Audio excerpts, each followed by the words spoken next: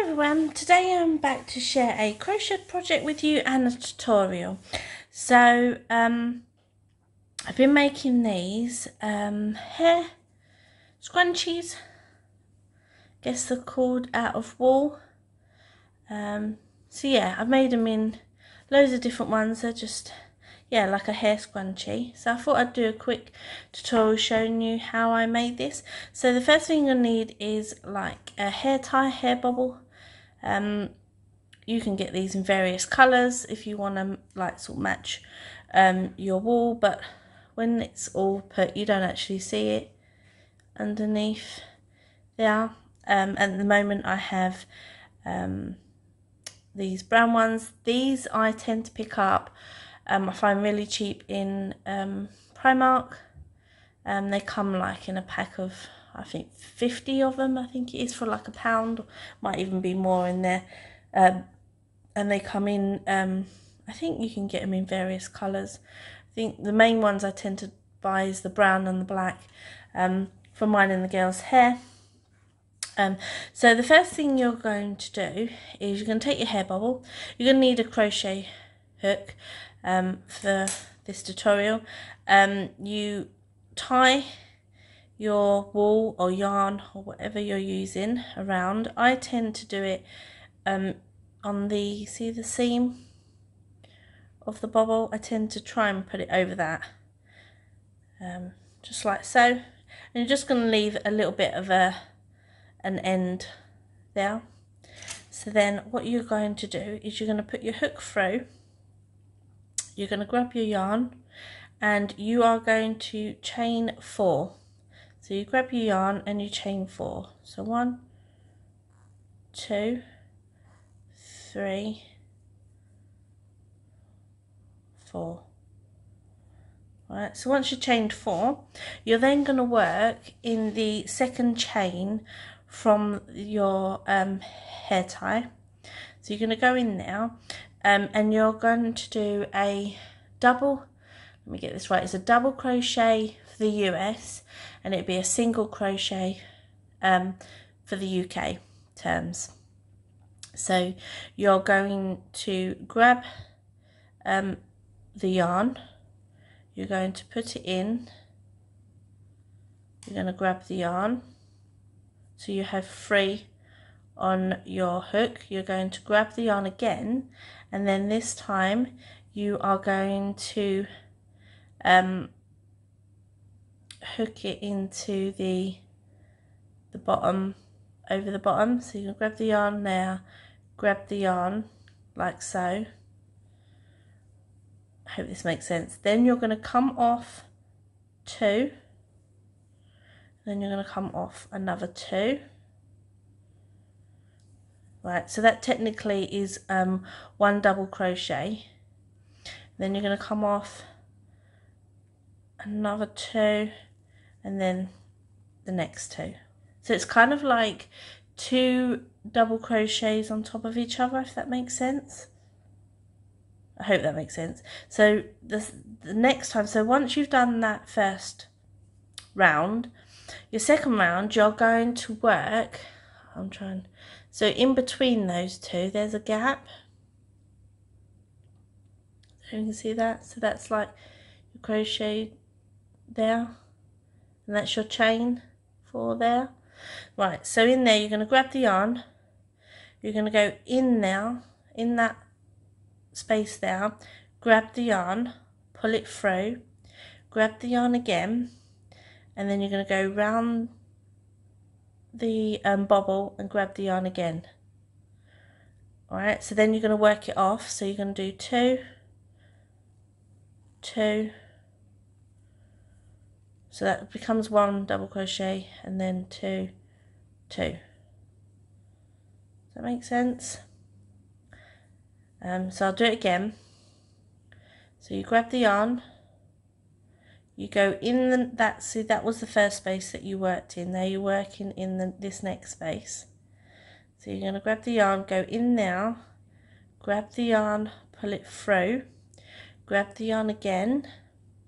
Go under the bobble, grab the yarn, So then you've got one, two, three, four, five chains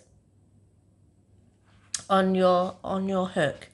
So then you're gonna grab the yarn, pull it through two, grab the yarn, pull it through two, which would be like the bottom half. And then you grab the yarn, pull it through two, grab the yarn, pull it through two. So you're going to carry on doing that. So it's yarn in the next space, yarn, yarn, round the bobble, yarn, and then pull it through two at a time. So through those two, through those two, that, and then that. I hope this is making sense. So this is how it would look. So effectively it's kind of like you're double crocheting two on top of each other.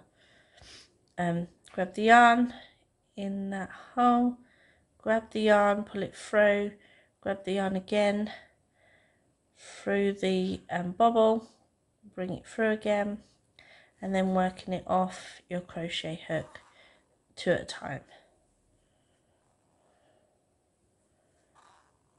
And that's it guys. Um, once you get the hang of it, it's really easy. Um, but yeah, so you're just going to do that all all the way round. Um, yes, yeah, so I'm going to um, meet you back when I'm at the end and I will show you how to um, sign it off. Now I've um, done all the way round. Um, I've done about 55, give or take, of those um, chains. Um, you can do more if you want to do more, you can do less. It's entirely up to you how you want it to look. I kind of like it a bit scrunched up, the ruffles. You could have it more flat if you wanted, or you could have more um, gathering if you wanted. So it's entirely up to you, but roughly I do about 55 um, chains all the way round. So then to sign off, so it looks like this, to sign off, you're just gonna, in that chain, first chain four that you did, in the top one, you are going to do a slip stitch. I'm using the most um, thickest wool here, um, so it's hard to go through. So you're just to slip stitch those two together um, and I like to do another one the next chain just to sign it off like that um, and then turn off like this. And then I like to cut um, quite a bit off um, a few inches off. And I pull that tight like so. So then what I like to do, because you've got this kind of opening here, um, and then you've got the, the end of the where you began down there. So I try and work my way down. Um, so what I will do is I will just thread this through. So I like to pull it through. Um, and then I like to kind of just join I guess these two together so I'll just go through that one try and get through this one like that and then just pull it all the way through. Um, and yeah I will do that pretty much all the way all the way down. Just brings it closes that gap there. Um,